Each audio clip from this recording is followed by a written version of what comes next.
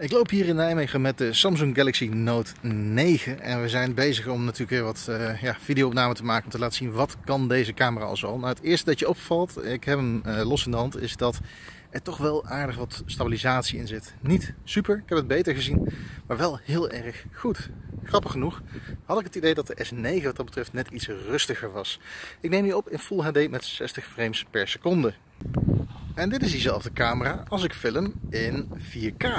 En hey, dan is het beeld heel veel stabieler. En het is een UHD. Nou, te gek toch? Preview uh, op het scherm is ook echt fantastisch, zelfs in volle zon. Het is echt uh, ja, een geweldige ervaring. Selfies worden niet gestabiliseerd, maar selfies worden wel in Full HD opgenomen en zelfs Quad HD. Tijd dus om te gaan schakelen.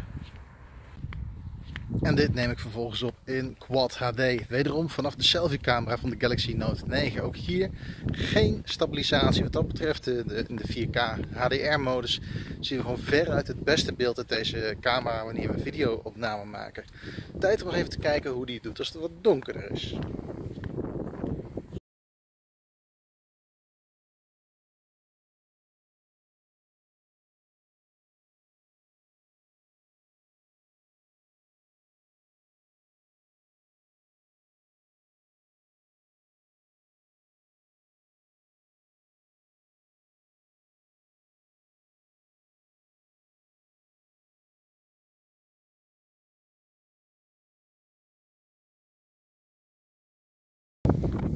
Ja, en zo loop ik aan het einde van het blauwe uurtje, dus uh, bijna donker, door de straat.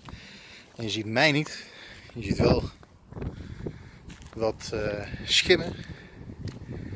Maar op zich kan de selfie camera hier helemaal niets meer mee. Ja, tijd om te kijken wat de camera aan de voorkant doet. Ja, en die neemt keurig gestabiliseerd op in 4K. En we zien allemaal lampen in huizen. Maar buiten dat zien we eigenlijk niet zo heel veel meer. Ook hier is het echt wel gedaan met lichtgevoeligheid. Tijdens het filmen, fotografie met uh, ja, hier in het donker. Nou, dat komt echt nog wel goed met deze Samsung Galaxy Note 9. Wil je daar nog meer van zien? Check dan de link onderaan de video. Ja, zelfs mijn vingers zie je al niet meer. Uh, die link die brengt je aan gadgetkeep.nl. Daar lees je de hele review en dan zie je ook een aantal foto's die wij hebben gemaakt. Ook in het donker. Voor nu, tot ziens. Zie je binnenkort bij Gadget Gear.